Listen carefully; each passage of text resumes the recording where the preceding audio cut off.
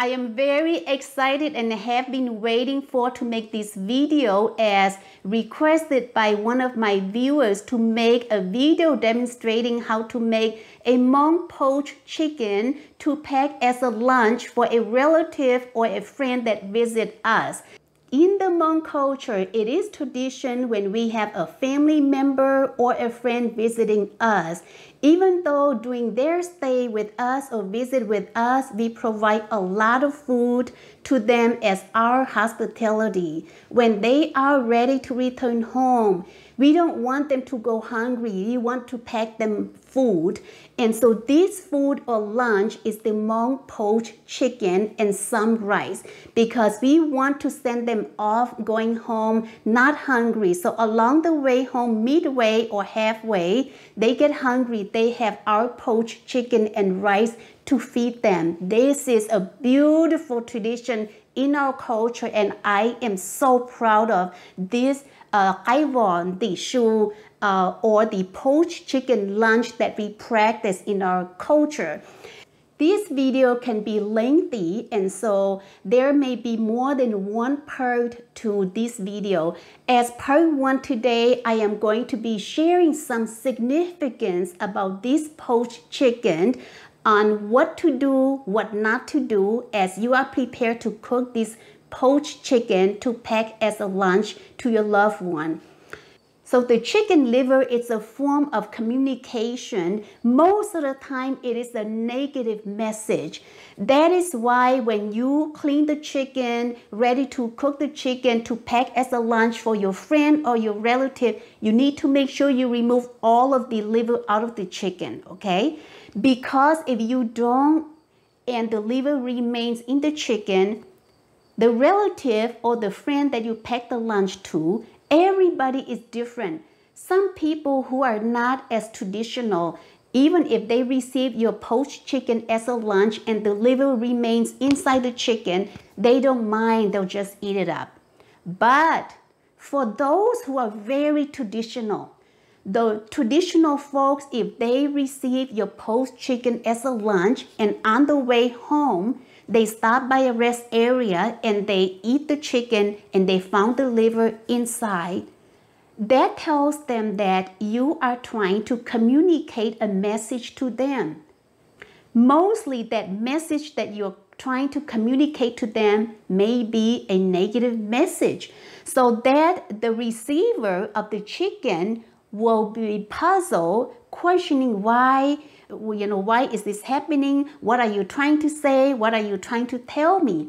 And so that is why it's very important do not leave the chicken liver if you have a good relationship with your relative, your friends, the person that you're packing the lunch to, and you're not intending to send any message to them in any form, always make sure to remove the liver out of the chicken when you clean the chicken. Before you cook the chicken, pack it as a lunch to them. Okay? A second thing I wanted to share is uh, the chicken head, the chicken feet.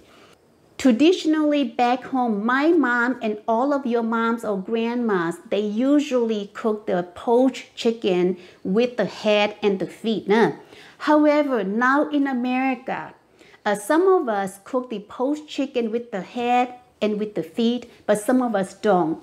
But the head and the feet, it, doesn't have as much significance. So you can either choose if you have a chicken that has very nice head, very nice feet with no disease, you can choose to keep the head and the feet and cook your poached chicken to pack for the lunch.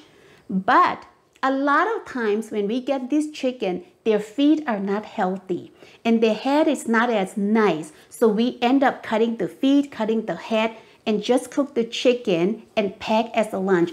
That is fine too, not an issue. So about the head and the feet, either way would be just fine, okay. And then uh, thirdly, I wanted to share it's the way you cut the chicken open.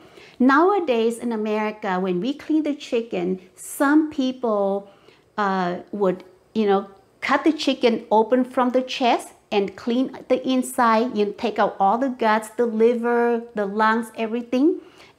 And if that is your preference of you know opening up the chicken, that is okay too. There's no right or wrong. Um, however, for my personal preference, I don't like opening up the chicken by the chest. I like to remove all the gizzards, the guts from the inside of the chicken from the bottom. That way, my chicken is um, as a whole, it's rounded with a nice chest when I cook it as a poached chicken to wrap it as a lunch. So either way, there's no right or wrong. You do it however you like. You can cut it at the front or at the bottom to remove all the guts from the inside. It's okay.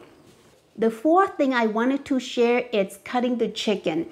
Everybody is different. Some people prefer cutting the poached chicken into pieces and pack as a lunch and give it to uh, their friends or relative. Some people don't like cutting the chicken into pieces. I think packing the chicken as a whole is most appropriate and the best way.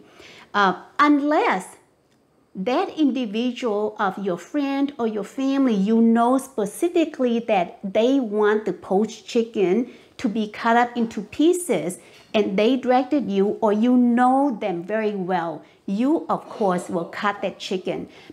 And if you don't know that individual, whether they like the chicken to be cut or not, the best practice is to cook the chicken as a whole and then pack the lunch to have a whole poached chicken as their lunch to give it to them. So I hope that this information is helpful to you as you prepare the Hmong poached chicken to pack as a lunch to someone who visits you. And we will see you in video two. When hmm.